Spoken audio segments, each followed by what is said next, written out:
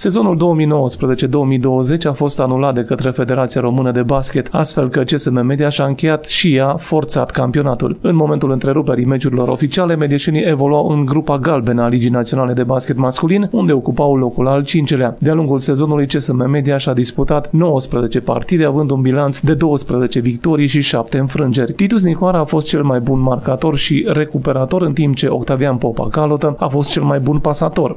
A fost un sezon în care am avut parte de multe meciuri frumoase, meciuri decise în ultima secundă și multe surprize reușite de echipa noastră. Am avut parte de o echipă minunată și de un public care ne-a susținut mereu. Mulțumim tuturor pentru susținere și să ne revedem cu bine!